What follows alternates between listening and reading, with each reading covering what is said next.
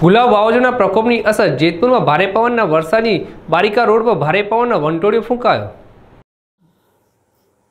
જેતપુરના રબારિક road ઉપર સોમનાથ ઉદ્યોગનગર, પાદરિયા ઉદ્યોગનગર તેમજ આતા ઉદ્યોગનગરના કારખાનાના પતરા ઉડ્યા.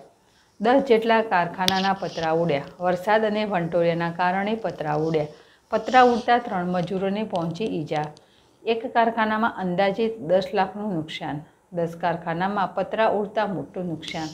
પતરા ઉડવાના કારણે એક મહિના સુધી કારખાનું રહેશે બંધ. આશીષ પાટડિયા, જેડેશ ટીવી, જેતપુર.